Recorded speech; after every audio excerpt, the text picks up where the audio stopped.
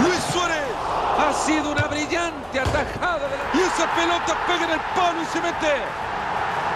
Con el arquero vencido, el palo era el último recurso para salvar este equipo y no jugó para el contrario.